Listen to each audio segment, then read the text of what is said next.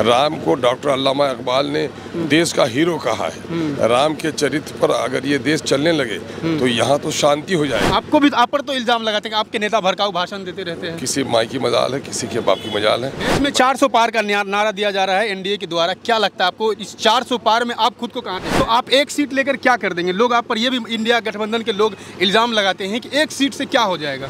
मोदी शासक कम है।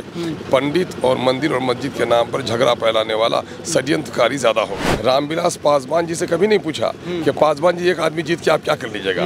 ये लाल किला पर बैठने वाले बादशाहों की नस्ल को गुलाम बनाने के लिए इस किस्म का फितना लोग पैदा कर रहे हैं। ये बताइए यहाँ का किशनगंज का स्थानीय मुद्दा क्या है? चूँकि ये किशनगंज सीट जो है पूरे देश भर का जो है एक हॉट सीट माना जा रहा है। किस मुद्दे पर आप चुनाव लड़ रहे हैं और किस मुद्दे पर लोगों से वोट मांग रहे हैं? एक दो जख्म नहीं सारा जिसम है छलनी।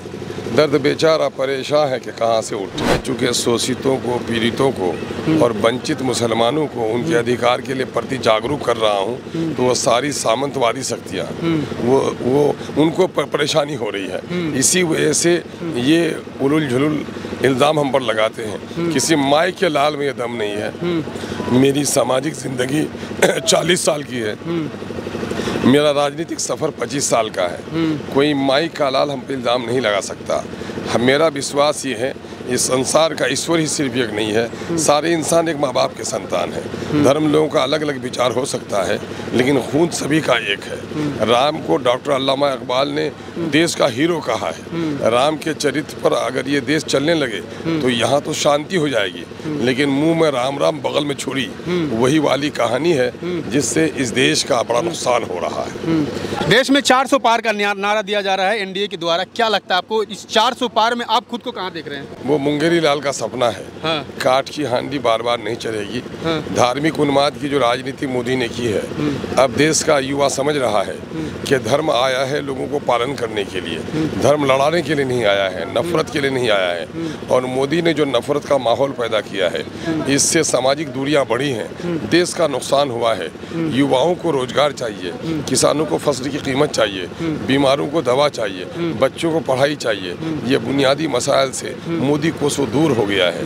मोदी शासक कम है। पंडित और मंदिर और मस्जिद के नाम पर झगड़ा फैलाने वाला षड्यंत्रकारी ज़्यादा हो गया है। आपको भी आप पर तो इल्ज़ाम लगाते हैं कि आपके नेता भड़काऊ भाषण देते रहते हैं। किसी माई की मजाल है किसी के बाप की मजाल है। बता दे कौन सा भड़काऊ मजाल बयान दिया? मैं कह रहा हूँ कि मेरे आँख में अगर कांटा चुभा मैं डॉक्टर के यहाँ जाता हूँ कहता डॉक्टर साहब मेरी आँख मेरी आँख फट रही है। तो कान हमारा नहीं है क्या? नाक हमारी नहीं है क्या? अरे चूँकि जो जख्मी है, उसके लिए हम चिल्ला रहे हैं। तो पूरे देश में सबसे जो पीड़ित है वो मुस्लिम है। मैं नहीं कहता हूँ सरकारी आंकड़े कहते हैं। बिहार में दो करोड़ इकतीस लाख मुसलमान हैं। मुसलमानों की नौकरी की हिस्सेदारी तीन लाख अड़सठ हज़ार होती है। वहाँ सिर्फ़ एक लाख तिहत्तर हज़ार नौकरी दी आपने। ये बेईमानी ये जुल्म नहीं हुआ है। यही आईना दिखाने से इनको छटपटाहट होती है। ये बेईमान लोग हैं जो लोग ये शोषित पीड़ित जनता को जगाने से परेशान हो रहे हैं। तो आप एक सीट लेकर क्या कर देंगे? लोग आप पर ये भी इंडिया गठबंधन के लोग इल्ज़ाम लगाते हैं कि एक सीट से क्या हो जाएगा? आपके मोहल्ले में किसी आदमी के दरमियान दो आदमी के दरमियान दुश्मनी हो। किसी के चार बेटे हो जाए और किसी का एक बेटा हो तो बोलेगा दुश्मन के अगर चार बेटे मेरा एक बेटा गला दबा दोगे क्या उसका? नहीं बल्कि कहोगे कि मेरा बेटा शैक्षणिक तौर पर शारीरिक तौर पर इतना दोस्त हो कि वो चार का मुकाबला कर ले। आप ये नहीं देखते ये एक शेर जब पार्लियामेंट में खड़ा होता है तो बहुत सारे लोगों के होश उड़ जाते हैं बहुत सारे लोगों के होश उड़ जाते हैं। रामविलास पासवान जी से कभी नहीं पूछा कि पासवान जी एक आदमी जीत के आप क्या कर लीजिएगा? ये लाल किला पर बैठने वाले बादशाहों की नस्ल को गुलाम बनाने के लिए इस किस्म का फितना लोग पैदा कर रहे हैं। ये करो नेक्स्ट से क्या। देश का जो राजनीतिक ढांचा है जो संविधानिक ढांचा है उसमें एक की भी गुंजाइश है। जब उसमें गुंजाइश है तो दूसरे के बाप की फटती क्यों है? अख्तर साहब ये बताइए यहाँ का किशनगंज का स्थानीय मुद्दा क्या है? क्योंकि ये किशनगंज सीट जो है पूरे देश भर का जो है एक हॉट सीट माना जा रहा है। किस मुद्दे पर आप चुनाव लड़ रहे हैं और किस मुद्दे पर लोगों से वोट मांग रहे हैं? एक दो जख्म नहीं सारा जिसम है छलनी। दर्द बेचारा परेशान है कि कहाँ से उठे।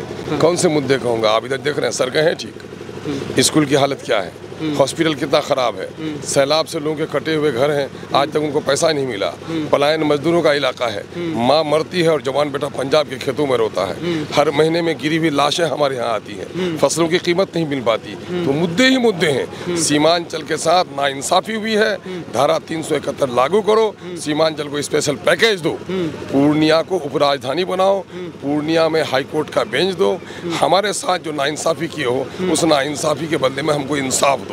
हम ये लड़ाई है हमारी। तो चलिए अख्तर साहब हमारे साथ में थे और इन्होंने बताई कि यहाँ की क्या समस्याएँ हैं और किस मुद्दे पर चुनाव लड़ रहे हैं। बाकी आपकी क्या प्रतिक्रिया है कमेंट बॉक्स में ज़रूर बताइए। शुक्रिया।